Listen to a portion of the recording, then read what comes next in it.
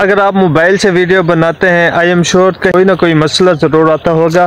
तो आज मैं आपको ऐसी टिप देने वाला हूँ, जो व्लॉगर हैं, जो फोटोग्राफी करते हैं। कुछ चीज़ें आप सीखेंगे, इंशाल्लाह आप, जो आप गलतियाँ करते हैं, वो आप गलतियाँ नहीं करेंगे। सुबह का वही टाइम है। आपका भाई छः बजे यहाँ आ चुका है। ये बकरियाँ भी खुले मैदानों में हैं। आपको मैं टिप्स बताऊँगा व्लॉगिंग के लिए। आज का व्लॉग स्टार्ट करते हैं। आपको ये लगता होगा कि हमारा मोबाइल सही नहीं है, उसका कैमरा ठीक नहीं है, जिसकी वजह से आपको वीडियो अच्छी नहीं लगती होगी। तो आपको मैं ऐसी मिस्टेक बताऊँगा इग्नोर करेंगे। मैं आपको बताऊँगा कि किस टाइम वीडियो बनानी चाहिए, कौन सा टाइम बेहतर होता है। मैं आपको आज वो मिस्टेक बताऊँगा जो आप फ़ोन इस्तेमाल करते हैं, और इनशाला वो आप इग्नोर कर देंगे और आपकी वीडियो बहुत अच्छी बनेगी। हाउ टू मेक वीडियो जो आपकी वीडियो की क्वालिटी है, वो भी इंक्रीज हो जाएगी और फ़र्स्ट बात है ना, वो है लाइटिंग जब हम लाइटिंग को लेते हैं, अब कहीं ना कहीं मेरा आपको डार्क साइड नज़र आ रहा होगा और शेडो मेरे सामने की तरफ़ होगा। तो अगर मैं यही ओपोजिट बनाता हूँ, ठीक है? तो चलें, आपको मैं दिखाता हूँ कि ये देखें, ये आप देखें, ये लुक कैसे चेंज हो गया है, ठीक है? जब सूरज की रोशनी आपके डायरेक्ट फेस पे पड़ती है तो आपका व्लॉग बहुत ही अच्छा बनता है। तो पहली मिस्टेक जो हम करते हैं, हम लाइटिंग को नहीं देखते और बस व्लॉग बनाना या फोटोग्राफी करना स्टार्ट कर देते हैं। तो ये मिस्टेक आप करना छोड़ दें, इंशाल्लाह, आपकी क्वालिटी में बहुत ही ज़्यादा बेहतरी आएगी। गाइस अगर लाइटिंग बहुत ज़्यादा आ रही है तो यहाँ पे सूरज की रोशनी बहुत कम आ रही है और यहाँ सायेदार जगह है। तो आप देखें कि सूरज की रोशनी नहीं आ रही वीडियो बहुत ही परफेक्ट बन रही है। ये छोटी छोटी बातें होती हैं जो आपकी वीडियो को चार चाँद लगा देते हैं। अब देखें, कितना औसम लग रहा है ये देखें। कमाल का सीन बना है गाइस यहाँ पे। गाइज़ ये देखें, मेरे ऊपर लाइट बहुत फ्लैट है क्योंकि कहीं सूरज की रोशनी नहीं आ रही है। जब आपके ऊपर फ़्लाइट लाइट हो ना, ये वीडियो बहुत ही कमाल की निकलती है, ठीक? गाइज़ सेकंड मिस्टेक वो है जो हम ज़्यादा मिस्टेक करते हैं वो है ऑडियो का।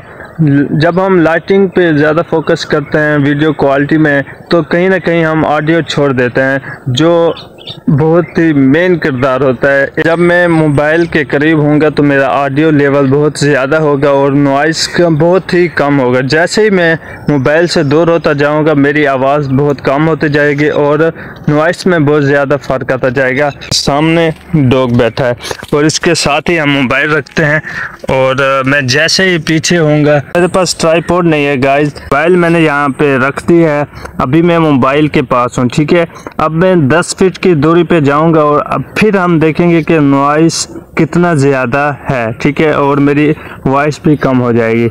अब मैं पीछे जा रहा हूँ गाइज़ अब मैं गाइस 10 फीट की दूरी पे हूँ। आप देख सकते हैं कि मेरी नॉइस में और मेरी आवाज़ में कितना फ़र्क है? क्वालिटी बहुत ही डाउन हो जाती है। आप डिस्टेंस पे जाना चाहते हैं, कोई चीज़ दूर बनाना चाहते हैं तो अगला एक ऑप्शन होता है कि आपके पास माइक होना चाहिए वायरलेस माइक जो इस टाइम मेरे पास भी नहीं है बट मुझे इतना ज़्यादा ज़रूरत नहीं पड़ती कि दूर जाके मैं एक माइक से बात करूँ, ठीक है? इंशाल्लाह अगर फ्यूचर में मुझे ज़रूरत पड़ेगी तो मैं वो भी ले आऊँगा।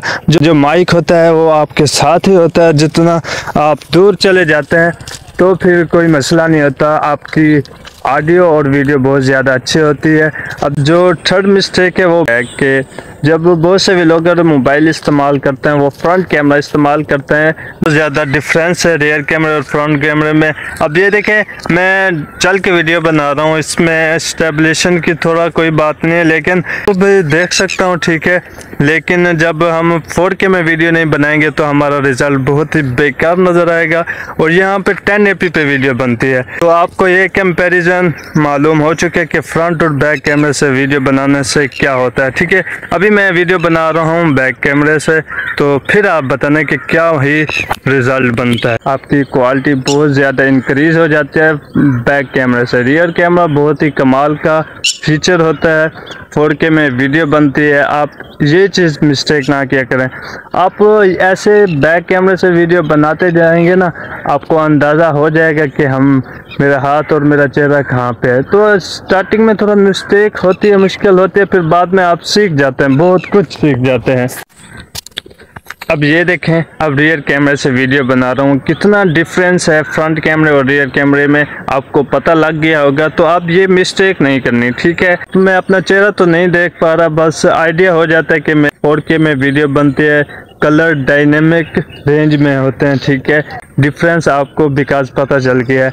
अब ये मिस्टेक नहीं करनी। जो फोर्थ पॉइंट है ना, हम हर मोबाइल में ऑलरेडी स्टेबलेशन का ऑप्शन होता है। जब जब हम चल के वीडियो बनाते हैं तो उस टाइम हम स्टेबलेशन को ऑन कर देते हैं। वो तो ठीक है बेटर है। जब हम ट्राईपोर्ट का इस्तेमाल करते हैं, वहाँ पे बहुत ही एआई के थ्रू ना फोकस करता है जब मोबाइल तो वीडियो को क्रॉप कर देता है। तो वहाँ आपकी वीडियो क्वालिटी बहुत ही ज़्यादा बेकार हो जाती है। तो जब आप ट्राईपोर्ट इस्तेमाल करें, वहाँ पे स्टेबलेशन ऑन ना करें ठीक है, चलते हुए जब आप वीडियो बनाते हैं, उस टाइम आप टैबलेशन ऑन कर सकते हैं।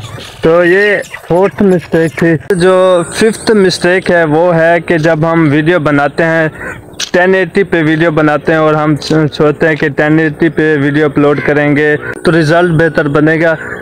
लेकिन ये बात गलत है। अब मैं, मेरा मोबाइल है ना, ये 1080 पे वीडियो बनाता है 4K का रिज़ल्ट नहीं देता।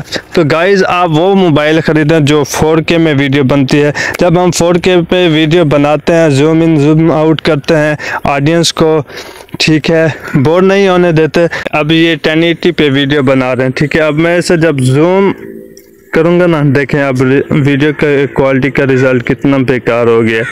तो जब हम फोर के में वीडियो बनाते हैं ना, जो मोबाइल फोर के वीडियो बनाता है, वहाँ पे जब हम जूम इन जूम आउट करते हैं तो वीडियो क्वालिटी में फ़र्क नहीं पड़ता, जो कि हम 1080 पे वीडियो बनाते हैं। तो उम्मीद करता हूँ ये कुछ पाँच टिप्स आपको बताई हैं। तो आज के व्लॉग में आप सब दोस्तों ने बहुत कुछ सीखा होगा इन उम्मीद करता हूँ इसी तरह आपके लिए बहुत सी अच्छी अच्छी वीडियो मैं लेके आऊँ। जो कुछ मैं जानता हूँ, वो आपको बताऊँगा, इंशाल्लाह। आप बेफिक्र होकर न्यू व्लॉगर जो भी हैं, जो पुराने व्लॉगर जो इन चीज़ों को नहीं जानते, वो भी अपने भाई के व्लॉग से कुछ ना कुछ सीख सकते हैं। तो आज का व्लॉग अख्ताम पजीर हुआ, इंशाल्लाह एक नए व्लॉग के साथ हाजिर होंगे और कुछ अच्छी टिप्स आपको बताऊँगा।